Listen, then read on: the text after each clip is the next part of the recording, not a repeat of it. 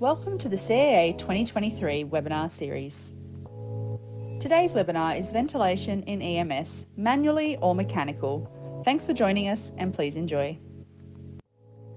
Hi, my name is David Waters and I'm the Chief Executive of the Council of Ambulance Authorities, representing ambulance services throughout Australasia.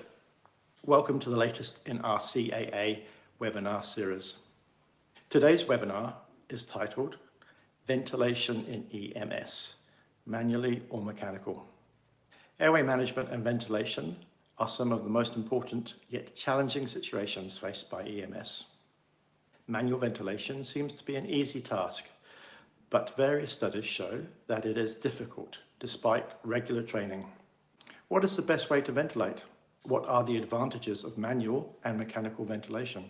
From this webinar, audience members will learn how your patient can benefit from mechanical ventilation, how mechanical ventilation improves the workflow in EMS, how to achieve hands-free ventilation during patient transport, and the different possibilities of monitoring. Our speaker today is Dr. Jan Thorsten Gräsner, MD. Jan is a German anesthesiologist, emergency physician, university professor, health services researcher, and director of the Institute for Rescue and Emergency Medicine at the University Hospital Schleswig-Holstein. His scientific focus is on emergency medicine quality management and especially resuscitation. Jan began his medical career in 1991 as a paramedic and continues since 2000 as a physician. Since 2010, Jan has been medical director of emergency medicine at the University Hospital Schleswig-Holstein. Jan is a member of ERC, ILCOR, and the Global Resuscitation Alliance, and the author of more than 180 papers, including ERC guidelines for resuscitation. He achieved his full professorship in 2018. Jan continues to be active as an emergency physician and chief emergency physician in the state capital Kiel, and as an emergency physician on the rescue helicopter Christoph 42. Please add any questions you have during the presentation into the chat function and we will answer them in the live Q&A session that will immediately follow Jan's presentation. So on that note, please join me in welcoming Professor Jan Thorsten Gräsner. Thank you. Ventilation in EMS, manually or mechanical? This is the question. My name is Jan Thorsten Gräsner. I'm the director of the Institute of Emergency Medicine at University Hospital in Schleswig-Holstein. This is a part of Germany, the northern part, and I'm really happy to present you some of my thoughts about ventilation in EMS situations. My conflict of interest you can see on that slide. It shows that I'm involved in different registry work in resuscitation mostly and other international scientific groups, but I don't think that there will be any conflict dealing with that, what we want to talk today. So just talk about emergency medicine. I know you are professionals and you know what you're doing and you know wherefore you will be alerted. And emergency medicine, I think the same in your country and like in our country is that we deal with all that life-threatening situations. And one of the major differences in our system in Germany and some other European countries is that we send out doctors on scene. So there will be a doctor and a paramedic, so we are um, acting as a team. I know in other countries there are paramedics on their own. Maybe there will be some help by telephone operators from the hospitals or others. But at the end, the patient needs the treatment what is needed. And I, I think important that professional workers, as paramedics or doctors, do the right job. Here are some examples of our work, what we do in Germany. And these are situations where we were called as paramedics and also the German emergency physicians. You can see trauma, you can see cardiac arrest, you can see all the other things. These are indications um, where we send out ambulance cars and of course also doctors. I think this is a system what we are all familiar with over the last years. The ABCDE approach, the question is what will be the best way to handle different situations. And we will focus today, of course, on one part of this treatment. We look on airway just a little bit, but more on breathing because the B in the ABCD is very important, often forgotten. So people normally say, yeah, airway, it's very important. I did a very great intubation. And then they talk about circulation or something else. Ventilation, and I'm an anesthesiologist by training, is a very important part to heal patient, but also if you do it in the wrong way, to harm patients. So it's important to talk about um, the part of breathing and one of the most important sentences in every treatment is, of course, keep calm and treat first what kills first. And when we talk about ventilation, I think it's important to know why we do that. But just a short um, interruption. When we talk about ventilation and ask the artificial intelligence what they think about what is ventilation, and I did a nice try, I asked uh, the um, artificial intelligence to draw an image of paramedics providing mechanical ventilation in an ambulance. This was the questions. And um, these are the answers from the um, drawing artificial intelligence. And I think it's um, a little bit spooky. And if you see that different things, this looks a little bit like a really team approach between the patient and the paramedic. On the other hand side, I think it's um, a little bit like Captain Future or something else and far away from the reality. This is what is reality. So if you look at a picture like this, then you can see two paramedics working in an ambulance car. You can see the ventilator here upside, and the patient in this case is um, fully uh, ventilated and intubated. So this is something what we saw, I think, in 10 to 15% of our ambulance calls in Germany. So at the end, it's not so often, it's not every day, but it's with 10 to 15% something what is regular um, in the work of the paramedics, and they have to do this in a on a very high level and again it's a life-threatening situation and it's a life critical situation when you do and you need ventilation for a patient so it's important that we know what we are doing but why ventilation in EMS? We can also say why ventilation in life and we know without ventilation, without breathing, without oxygen, we have a problem as uh, mankind to survive. So why ventilation in EMS? Of course, we need oxygen this is part one. People and patients, but also we as uh, um, professionals need oxygen to live. So what is the primary goal in ventilation? Of course, it's to deliver oxygenation. People must have oxygen in their blood. So we want to higher the level of the oxygen saturation. This is very important, and this is the most thing, the most important thing what we think of when we talk about ventilation. But on the other hand side, we have to also organize a CO2 removal. So at the end, ventilation is doing both, giving oxygen and CO2 removal. And then we have that what we normally do when we are breathing, breathing in, oxygen in, breathing out, CO2 out. And this is the normal way what we have to do for the patient when he's not able to do and to ventilate or to breathe on its own. The big question is now, what is the best way to ventilate? What is easy, what is feasible, what can we do who is prepared for doing ventilation? And are there any um, obstacles what maybe give us a problem in the field of emergency medicine? So how to ventilate in EMS? We talk not about the theater, we don't talk about an ICU ward where we can plan all the things. We talk about emergency situations in the field, at home of the patient, and different other things. And we can see here two options how we can ventilate. We can have on the one hand side the mechanical one with the ventilator. We can on the other hand side, you can see here at the edge, the back and the mask. So the easiest way to ventilate. And we have to discuss today, and maybe we can do that later on, what is the best way to get oxygen in and CO2 out. So when we talk about that ventilation topic, we have to think about what are the advantages, what are the obstacles of these different things. So manual and mechanical ventilations have some things that are very good, some are easy, some may cause a problem and I like to describe you and to show you the different things what we can discuss about both ways of ventilate a patient. The easiest way, what every one of you may think of, is the bag valve mask ventilation. You need a bag, a non-breathing valve, an oxygen reservoir, and you can start immediately. This is the easiest way from the technical side. So the equipment is just that what you see on that slide. Nevertheless, the technique to get someone ventilated, to get the mask right into the face of the patient and then do a ventilation is nothing what you can do without any training. This is something what an anesthesiologist train over some months before it, it works really well. It's the same as for paramedics. It's very important to handle that and to do that very simple technique things with the yeah more or less uh, sophisticated work what you have to do with this just the back. So at the end, a mask in the face of the patient, what we can see here, one part of the ventilation is to put the mask as tight as possible on the face of the patient. This looks very easy on that face because this is a clear face. This is not old. There are teeth in. So everything nice.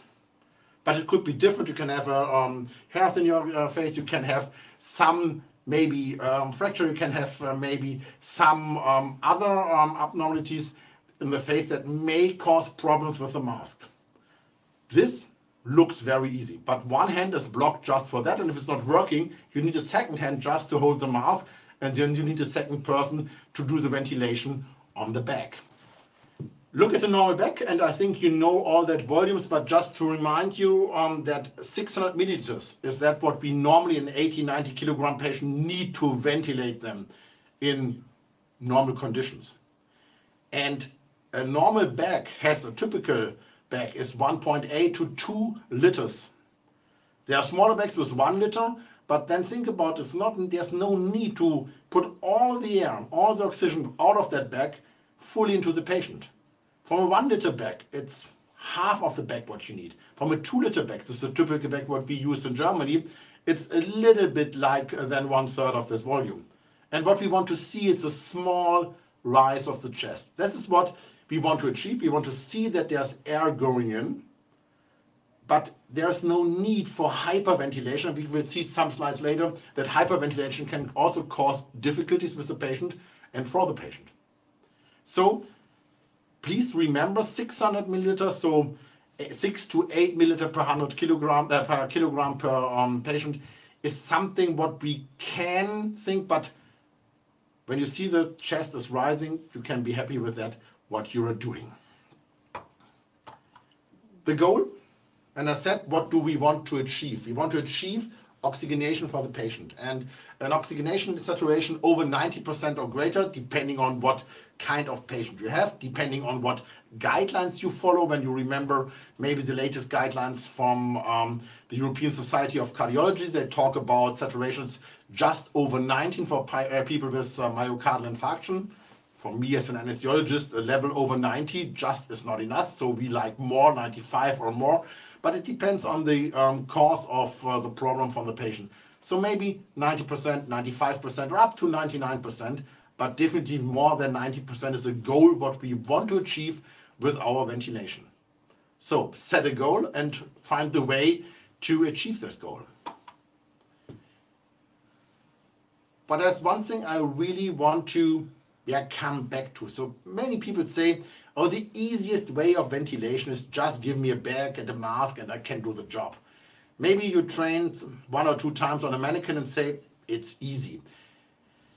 When you did it in field, when you did it in hospital, when you train it on real victims, then you figure out that it is much com more complicated than you think before. And the only answer for that, to heal that, is training. So the only way to learn ventilation with a mask and a bag is do it. You have to work with it, you have to do it on the patient, you have to do it in the best way under controlled conditions in a theater and uh, on the ICU maybe, it depends what ICU you have. But this is something you have to learn before you must do it on the street when you're running your EMS car. So it's not easy, it's not complicated, it's just something to train, yes, of course, but please be aware that it is something that there's a learning curve, there's a learning way and a path what you have to go when you want to do it in a good way. Our biggest mistake, what we see in young colleagues in Germany, is that they say, ah, give me the bag, give me the mask, there's no problem, one, two, three, it works. In real life, we cause a lot of problems with that when the mask is not fitting, when the ventilation is not good. And something what we often saw, when the mask is really good and you can do everything fine, then in a way of being very stressed on your own, people squeeze the whole bag and put one and a half liter into the patient. And this makes a hyperventilation and gives us problems with other yeah, changes in blood gases for the patient. So there are some older papers, and I don't uh, will bore you with a lot of um, uh, scientific papers, but this is one of the older ones from 2013, uh, published in Acta Anaesthesiologica Scandinavica, and they look at the probability and this check the chance what you can do. And again, a problem is the tidal volume. You don't know what you put in. You can hyperventilate from the frequency, but you can also hyperventilate from the volume, what you apply. And again, when you're under stress, when you're under pressure, the typical reaction is that you give more volume that you normally needed because you try to push all of the back into the patient. And this is something that really causes problems. So more is not often better especially in ventilation. And so uh, keep that please in mind. The mask and the face is one point, the volume of the ventilation, the other point. And what we also saw in a paper from 2014, also a little bit older, that prolonged manual ventilation with a back uh, valve device is harmful and often increases patients' mortality. Why is it so? Because you get tired. You put your hand, you're not really sure if it's working. You don't uh, control the volume, you don't control the frequency. Maybe the frequency is possible, but the volume is very difficult with a normal back. So um, how longer you do that ventilation in a manual base, and especially if you don't control it with a capnography, that you see what you're doing with the CO2, so often, the more you get problems with the patient. There are really no randomized control trials dealing with it. Of course not, because you can't do good ventilation, bad ventilation as a trial. But a lot of data, and especially that what you can see here in that paper, shows that the problem what we can have when we do a longer manual ventilation. But maybe we can see your experience later in the discussion and you can tell me how you handle that. Another important problem is, and you can see it on that small pictures here, when you look at the ventilation, where should the air go? The air should go into the lung. If you press too much and with too much pressure, air also goes into, so the typical thing on that screen, I always run one time in the wrong direction, but you can see here, air is going to the stomach. And you can do it one time, two times, three times, and what happens then, that is what in the stomach uses the way coming out. And then we have a problem that you try to ventilate someone who is vomiting. And you know from real life experience, this is a really harmful situation for the patient. First problem, you have a not clear airway. You have to clear the airway. Before you do that, you maybe don't see that, and some of that vomiting fluids come from the stomach and go directly into the lung. Next problem.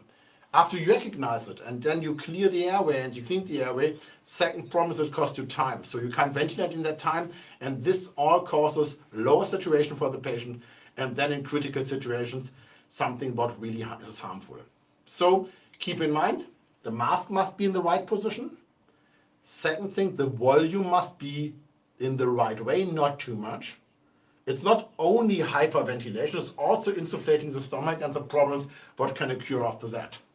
So mask ventilation, easy, fast, with a question mark. Fast, yes. Easy, we have to see. Safe, absolutely not 100% safe because you can cause a lot of problems for the patient when you're doing not right.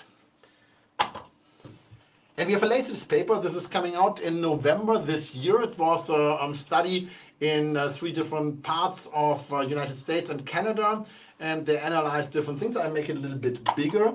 And in this studies, they um, just check for um, cardiac arrest patients and the ventilation and um, figured out that there was a feeling of you do a ventilation, but at the end, only 40% of the patients got a really good ventilation.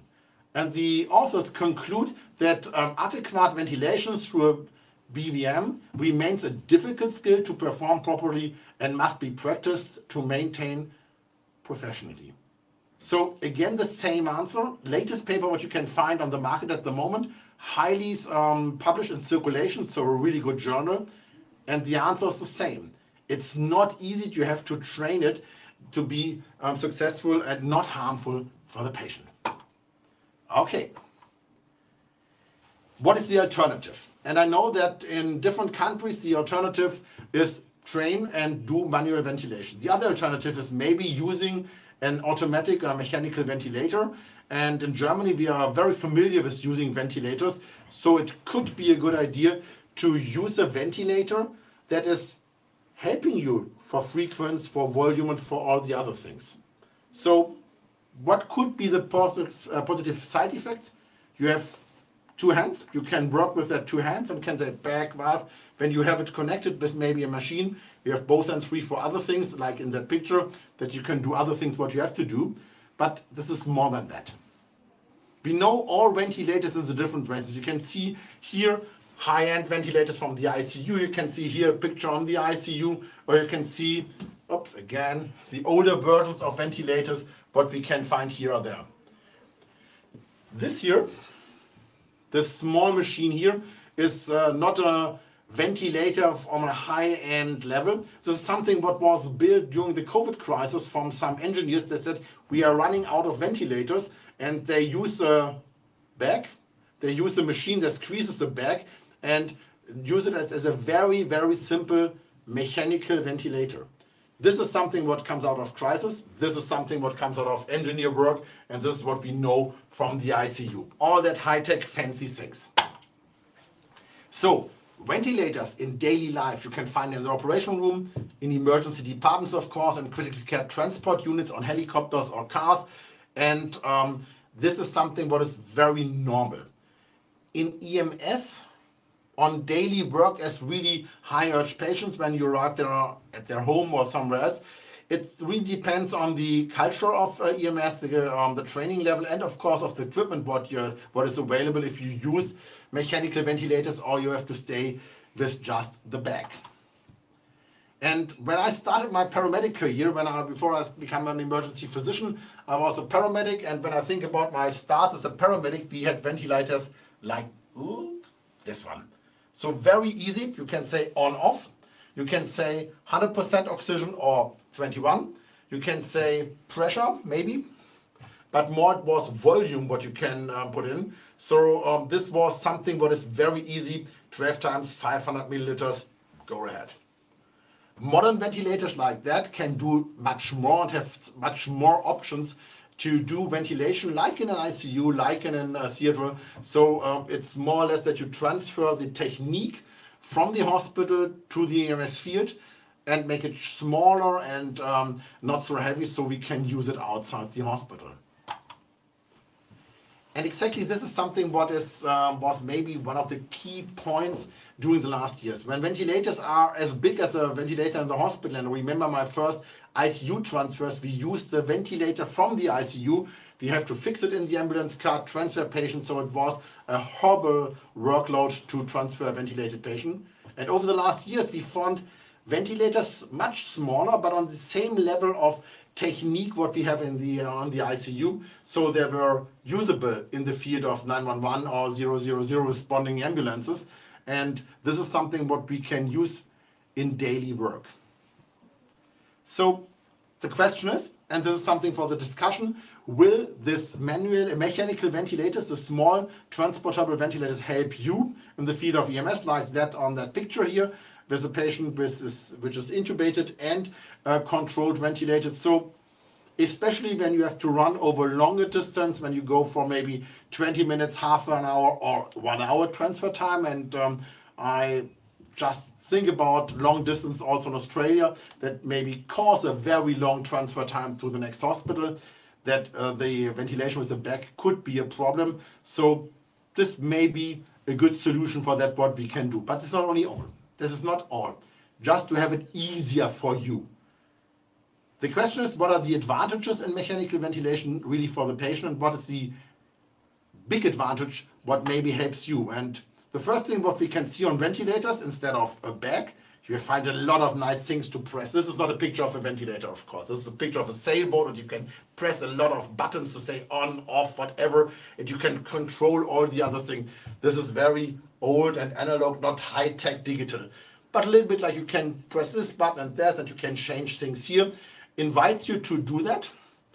Remember the first ventilators that I showed you some slides ago when you said on, off, 12 times 500, everything is fine, it's easy, but maybe not customized or not tailored for the patient. And nowadays we have a lot of things what we can adjust on a ventilator.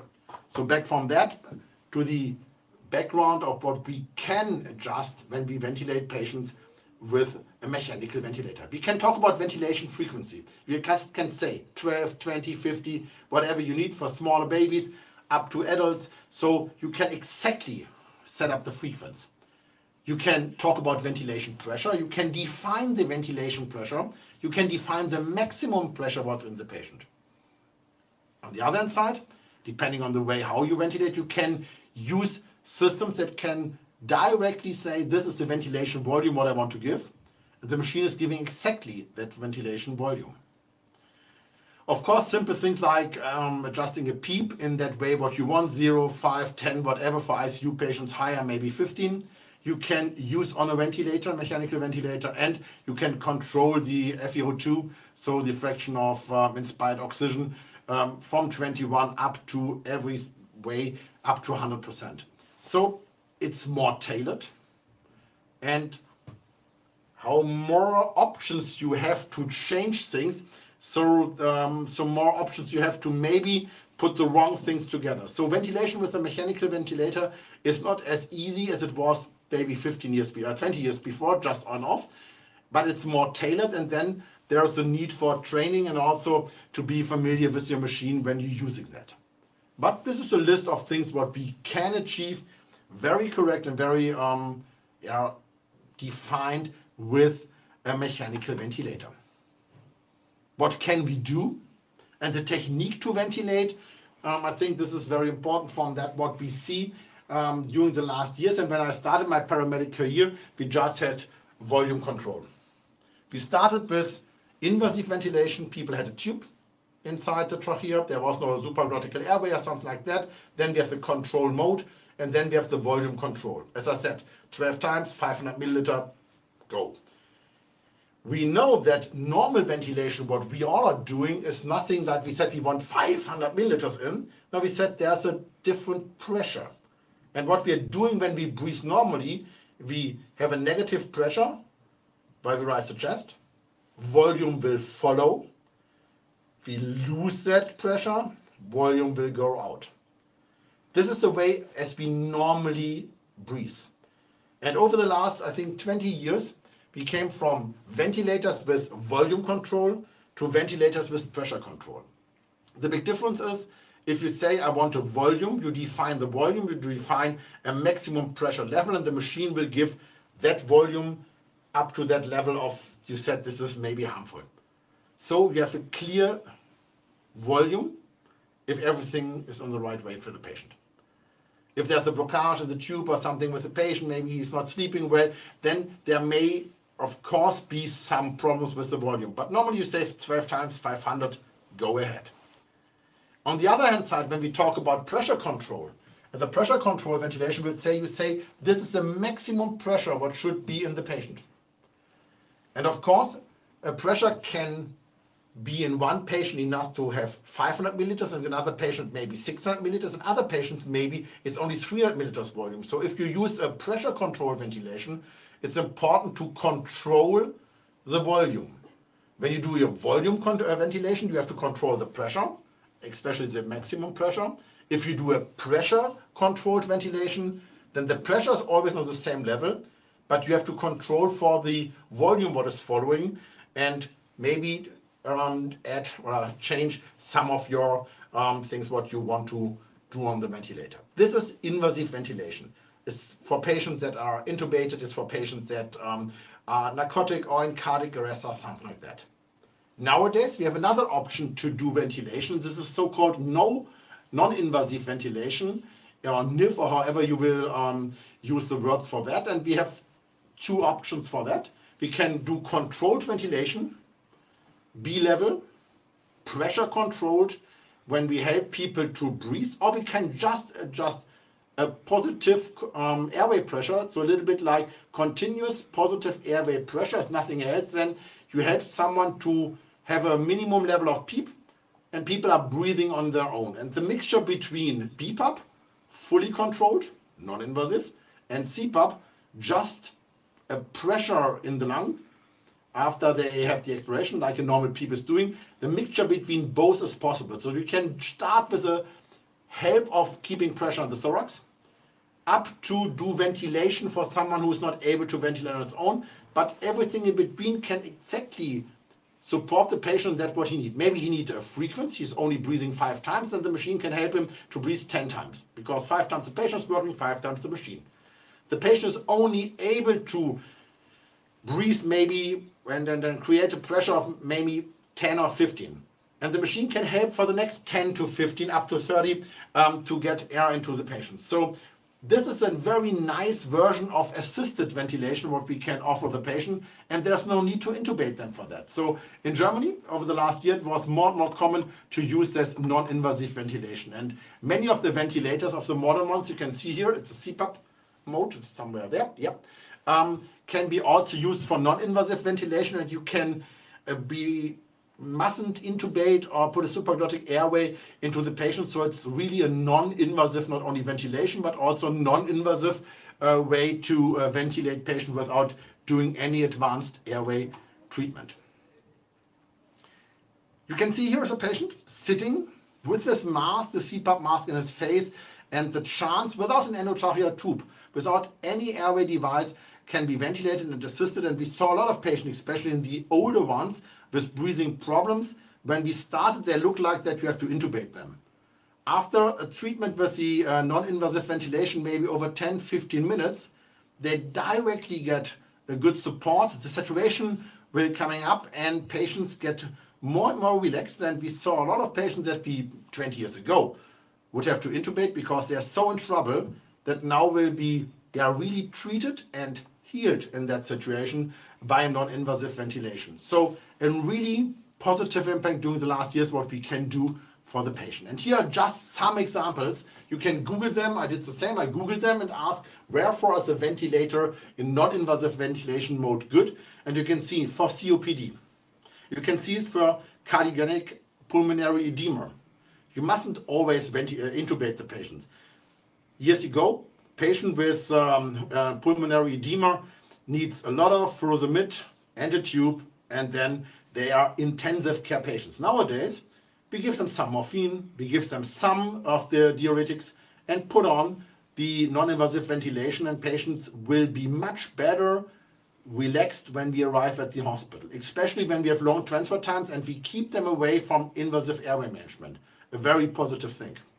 Of course, RDS, more complicated, uh, surely, but also can be treated with um, the non-invasive ventilation a pneumonia that people are not able to heal, to keep pressure in the thorax and you can want to keep the lung open so a nice way with CPAP that you can do that and also asthma or other neuromuscular disorders. So when we think about the mode of ventilation, the non-invasive way is coming up more and more common also for treatments in Germany in EMS field and the number of patients that need really an um, advanced airway and need a ventilation fully controlled drops down over the years. So a positive um, solution for the patient, from my opinion. But how can a, can a patient benefit from mechanical ventilation? Let's think about what I talked before. So I think the answers we had some slides before. The patient can at the end have a positive impact while we can control the ventilation frequency. We can control the ventilation pressure to keep the patient away from high pressure and that maybe harm the lung. We can define the maximum pressure. We can define volumes or control for volumes. And of course, we can adjust PEEP as we want and control the FiO2. So from the technical thing and from the patient tailored or customized ventilation, I think a mechanical ventilator has a lot of um, positive points on its side so that we can think about this could be helpful. But remember one of the first slides. We're just talking now, or I just talked now, just about getting air in. So we have some positive pressure ventilation, we get air in the patient, but we have to really control what we are doing, especially if we're doing volume uh, um, pressure controlled ventilation. So we can define all that tidal volume, the pressure, the rate, but to control what we are doing, we need the SiO2 uh, to uh, measure the saturation of um, the blood with oxygen. But also when breathing, when we remember that it's not only getting oxygen in, it's also putting CO2 out, there's a need for controlling that. And this is another ventilator you can see here on the lower level, there's CO2 control, so we can see in a patient we do ventilation, we can see the flow and the frequency, and we can see the CO2 when we have the capnography. And capnography, instead of capnometry, when you only have numbers, is a very important thing. And if you look at this, um, yeah, this part, I make it a little bit bigger, uh, and later on, we have the chance to have a really good idea what is happening in the lung. How is the ventilation really going on? It's not only about gas exchange, it's also, is my ventilation doing well? And if you, oops, I'm too fast. And we can see on that slide this uh, capnography graph. And we can see what is happening in the expiration. In the expiration, uh, CO2 is coming out of the lung. And after patient has breathed out with the next ventilation, it drops down when we have the inspiration. We don't see CO2 coming out, of course, because it's inspiration. And the expiration, the same thing happens here again. And looking on that graph give you a lot of information. If the graph from now to the next seconds drop down to zero, there's some disconnection. You mustn't look at the patient. Of course, you have to look at the patient. But if it just dropped down to zero from now to a second later, the typical cause is you have a disconnection of your tube. If you see it's going down slowly, slowly, slowly, slowly, then you can think about, do I have a ventilation problem? Or what is the way to get CO2 to the lung? It's by the circulation. So if it goes lower, lower, lower, lower, you have to check for the circulation because if you do a good ventilation, your ventilator is working, but the CO2 is going down, maybe not enough CO2 is coming to the lung, and the reason for that is cardiac problems, output problems, or maybe cardiac arrest. On the other hand side, if you do a CPR and have a very low CO2 level, and people got lost, the CO2 comes up very, very fast, on your capnography um, overview because at the moment when the patients get ROSC and is able to um, have a normal or near to normal heart function, all that CO2 that was stored in the um, blood can be um, getting out of the patient. So the CO2 is a very good measurement instrument for um, critical patient, but especially for ventilated patients, you can see a lot of things in the capnogram and can find problems or on the other side can be sure that your ventilation is good. So CO2, look at the ventilator and look at the SiO2 gives you all of the information what you need for a good controlled ventilation. So do a patient benefit from mechanical ventilation? It depends. It depends really on the user because we talked about what is easy, what we can have at all the time. A, mecha um, a mechanical ventilator with only three things to change would be easier but not tailored for the patient. Modern ones, you have a lot of things what you can do and it, at the end it depends on the user what he's able to do.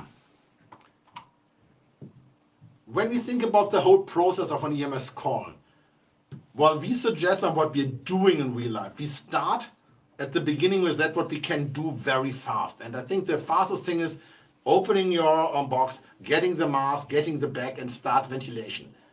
This would be the fastest way, but you can also train it with ventilators. But the easiest way, and this is common in EMS, just get the bag and start.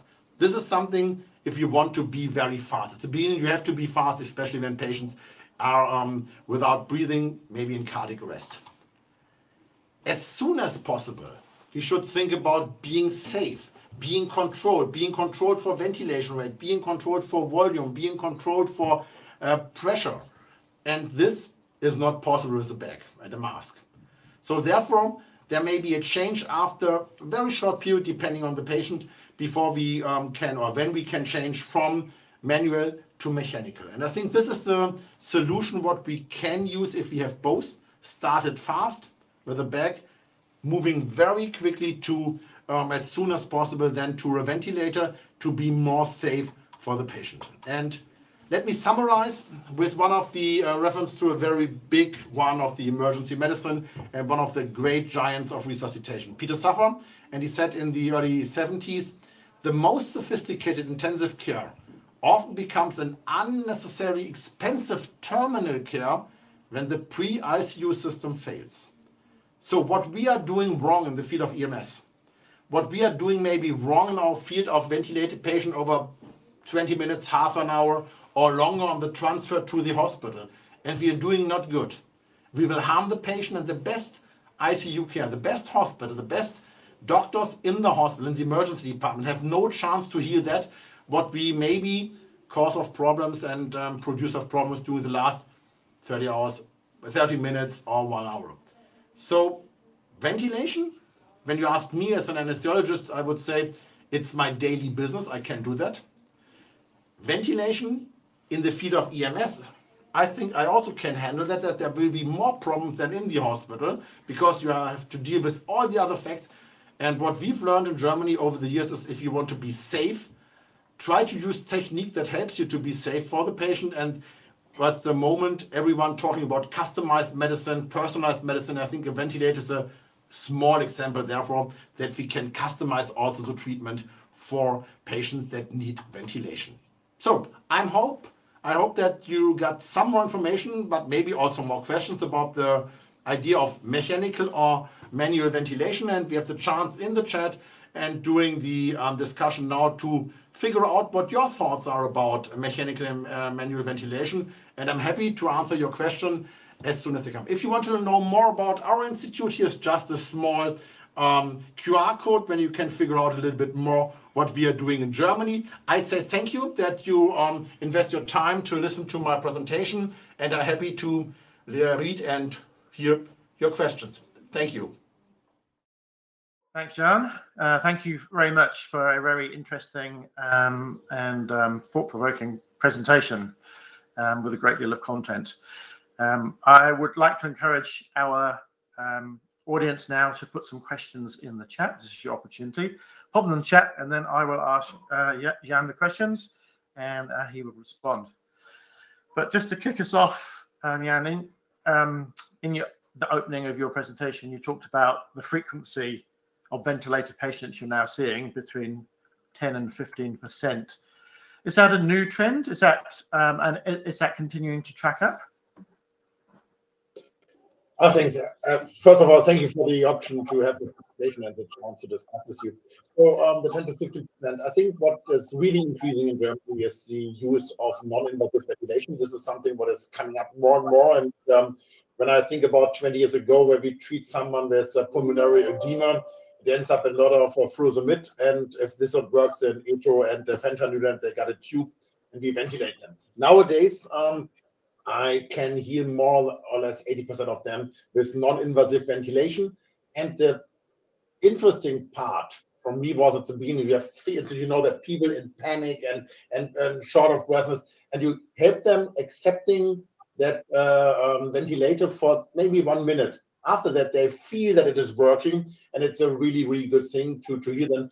So my personal feeling is most of the um, numbers that grow up in, in ventilation is, is, is based on non-invasive ventilation. And of course, our ICU transfers, we transfer, especially after COVID or within COVID, we transfer more and more high urge and high um, intensive care, complicated uh, ventilated patients. That's great, thank you. There's a couple of comments um, in the chat. Um, what, firstly, from Joshua, who says, having joined a service that uses mechanical ventilators he finds it really hard to go back to only having a manual option. I can imagine that's case. Any thought, any any comments in regards to that? I think this is uh, if you have your hands free and must work uh, and do the back, uh, it's of course easier. But um, yeah, I think it's, it's the same. Uh, you have you need to have both. I said it at the end of my presentation. I think you need both, and you need a backup if the ventilator is not working. But um, if you have only a back, um, then you have all that stress to be very correct, very um, focused on ventilation. And to be honest, this will need one person on the team just doing that. It's nothing you can do while you're doing other things. So yes, I can understand what he's saying.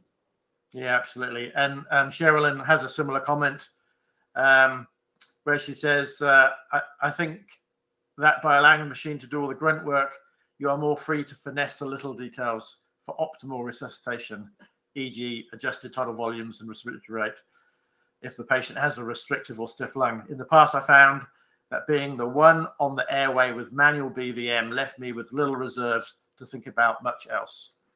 Exactly that is it. If you are ventilating, if you really want to do good manual ventilation, you must be focused on what you're doing. And we saw it in our own training lab here in the institute um, when you bring a team a little bit under pressure and you kick them a little bit and all the funny things you can do in simulator you can bring them to a ventilation frequency uh, on the same uh, number as a cardiac compression uh, frequency, just to kick them. And they're doing, if they're under stress, the same thing with the ventilator. So yes, it is a job that you have to focus on, and then one person is just uh, focusing on that. And the big problem, and I saw that very often when we um, transfer patients just a short way from the ambulance car to the helicopter. Ah, let's do it with a bag. Minimum is no one is caring for ventilation. This is one problem. The other is, ah, let's give some more. So it's uncontrolled. And I think this is a, the major difference between mechanical and manual ventilation if you are not able to control it manually, and especially when you use some technical things uh, that you can see um, the inspiration um, fraction and the expiration fraction, this is possible with the back also. But if you're not doing it, it's an uncontrolled ventilation. And I think it's in our uh, business with EMS, it's not good to do uncontrolled things. So I'm happy with that comment. Yeah, absolutely. Um, interestingly, um, in Australia, post COVID, um, a number of ambulance services inherited a lot of ventilators that didn't get used during our COVID pandemic, thankfully. Um, but what's your advice for an ambulance service in regards to the amount of training, the length of initial training, and the frequency of retraining um, that's required to keep somebody competent in using manual ventilation? To do manual ventilation. Oh, oh sorry, uh, mechanical ventilation. Mechanical. So I think, um, but okay, I have the bias of an anesthesiologist. And when I started my anesthesiology career, I remember that I was standing in the theater for half an hour, an hour, just holding the mask and try that. That was my start as an anesthesiologist. And the easiest way was after that, putting a tube in, putting the machine on and said, yeah, both hands free. So um, not make it too funny. But I think ventilation with a mask and a bag is a skill what you have to learn and to train and it's more training what you need to be really good with your mask in the face this costs more time and more retraining um, than uh, using a mechanical ventilator mechan a mechanical ventilator.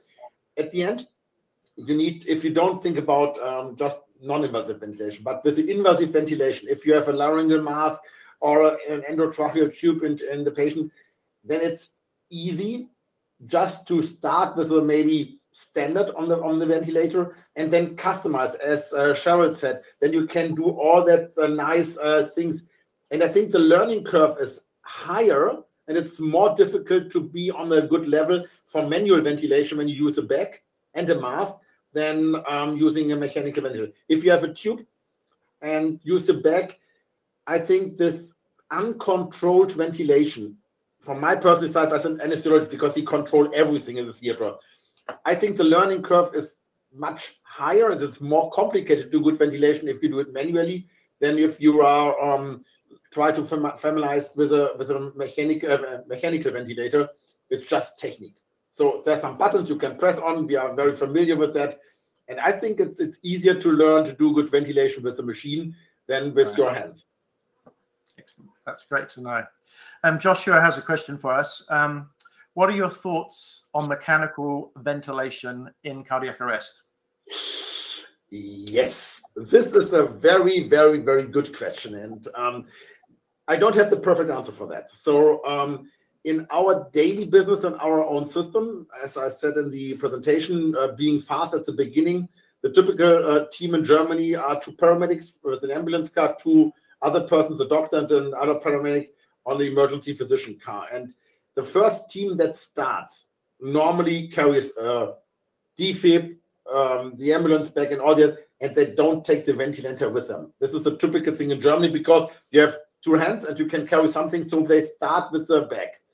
And um, then it depends really on the systems. If you have a um, if your ventilator on scene for that, and we try to do that, but to be honest, not everyone when he's uh, starting carrying all the things out of the ambulance car this is a problem with the bigger machines and then the question is what will be the right way we started years ago with 12 times 500 pressure or maximum pressure and saw that if you do it uncontrolled without the co2 uh, monitoring it may cause no ventilation the same with pressure control um, the best way what we saw at the moment is if you do it with pressure control but if you control it with um, with the CO2 level. Of course, the CO2 level is not the same in a cardiac arrest patient than in a normal patient. So you must see if there are some waves, if something is going in. And the best thing is if you have a ventilator that gives you information what are the uh, air is coming out.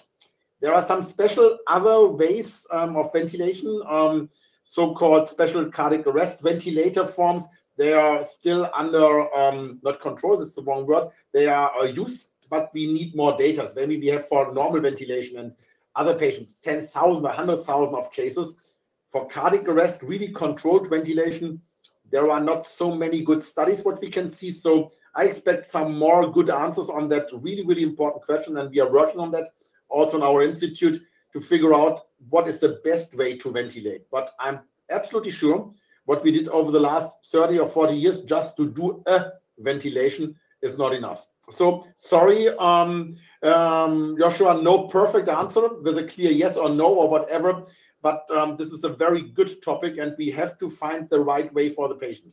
And the easiest way is control what you're doing, control the CO2, control the volume, and see what volumes goes in, what volume um, will go out, and control it. This is the maybe not best answer, but the best answer I can give on that. Thank you.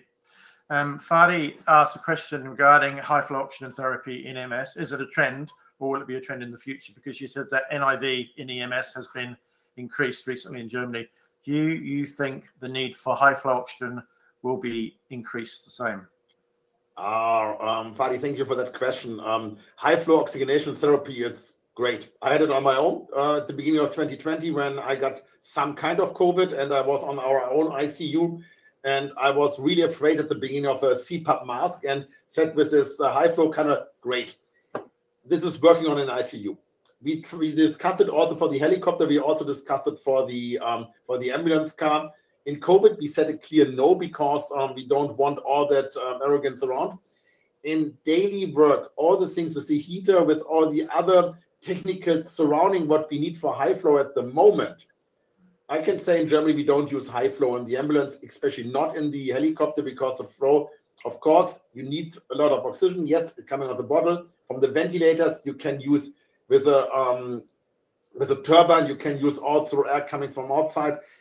Uh, nice, really, really nice. And I can say it on my own. This is something I can say. I just tested it, and I'm happy with high flow. But it's nothing for EMS at the moment.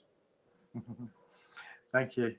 Um, Darius wants to know: um, Do you know what or is it a difference between ventilation devices using the external oxygen supply, higher than 95% oxygen concentration, and the device that is run by the turbine, which can ventilate with ambient air? Yeah, it really depends on what is the focus, what you're doing. If you need someone just help breathing, so it may be a problem with um, with the with the um, thoracic impedance that you can say, okay, just need a pressure. The oxygenation, they need pressure. Then it's okay if you do it also with uh, with um, 21% oxygen. And it depends what you see in your patient. If there's an oxygenation problem, you need more.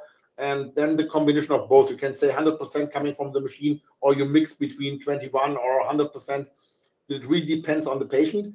But it is a great backup what you have normally if your ventilator drops off and especially in the helicopter and if the the bottle is empty you're from 100% ventilation to zero in one second when the bottle is empty now you have at minimum 21 and you have the same pressure and you have the same um, volume what you can bring into the patient so i think it's a it's a backup and it's more um, more safety issue but there are some patients that only need the pressure nice but to be honest normally in ems situations, I see patients that also needs oxygen. So um, I'm happy to support more than 21%. Great, thank you. Um, Sherilyn asked, do you think there's a risk that operators can be lulled into a false sense of security with mechanical ventilation? In your experience, are paramedics vigilant with looking out for issues like ventilator um, dyssynchrony or pneumothorax, etc.? I think your paramedics, and this is a thank you for that uh, question, Sharon. Um, the Germans, uh, paramedic, German paramedics said, "Oh, I when I'm great, I want to be a paramedic like in Australia or in UK because I can do so many things and they are so high, uh, highly trained and so good." So my paramedics in Germany sometimes said, "The German system must change to a system like um, yours with high sophisticated um, paramedics. In Germany, we have high sophisticated uh, um, paramedics with a three-year training, but we have also doctors on scene. But I believe, and I've learned my medical task as a paramedic and then uh, as an anesthesiologist in the anesthesia department, all from the ICU. It's not a question if you're a paramedic, an intensive care nurse, or a doctor. You can train it. You can have a. You must see what happens with the machine. Just turn it on and off. It's not enough. So if you if you use some machine, you must know what you're doing. But I, am pretty sure that a paramedic, that an emergency physician, ICU nurse, whoever wants to learn that, he wants uh, wants to focus on that, um, can use a mechanical ventilator in the same good way. And, and this is the big difference to a bag, you have alarm settings. If you run out of ventilation frequency, if you run, run out of ventilation volume, the machine gives you an alarm. So you can see something is wrong. You will be alert that something is going wrong. So I'm pretty sure and uh, clear, yes, it is possible. As is possible. Of course, as paramedics will be uh, on a good level to control the mechanical ventilator while it's working. So it's not an on-off thing and then just go. You need to visit, and this is the reason why we anesthesiologists don't sleep and um, and read newspapers uh, behind the curtain when we are in the theater. We look on the monitor to see if everything is okay. Excellent. We're, we're virtually out of time. Um, I might Sorry? slip one more question in um, from Darius. From your experience, how important is it to monitor SpO2 in the emergency scene? as I said, um, I'm an anesthesiologist. I want um, all the things what I can control. SpO2 is a very thing. SRO2 is a very good thing. So if you mean really pressure, um, so with a um, oxygen clip, it's standard. The same as S with XCO2. It's the next standard if you ventilate someone. Yeah, excellent. Thank you. So we really run out of time now. Thank you so much, uh, uh, Jan, for your presentation. We've really enjoyed it. Lots of great questions. Uh, a great audience from all over the world. We actually had something like 45 different countries registered today to watch your presentation, which is amazing. So um, a great thank you to the audience out there, wherever you are zooming in from today. And please um, join me in thanking uh, Jan for his presentation. Thank you. Thank you. What a pleasure. Excellent. And um, can I just say to all our attendees, uh, stay tuned. Um, also, a big thank you to Weinmann for sponsoring this presentation. We do really appreciate it. And they're a good friend of the CAA. Um, Jan, thank you. Hope to see you again in Europe in the near future. Um, for us today, uh, thank you, and we'll see you again soon. Thank you. Happy Christmas in two weeks. Bye bye. Thank you. Thank you for attending Ventilation in EMS, manually or mechanical. To keep up to date, follow us on social media Twitter at CAA Australasia, Facebook and LinkedIn, the Council of Ambulance Authorities. Enjoy the holiday season and we look forward to seeing you again next year.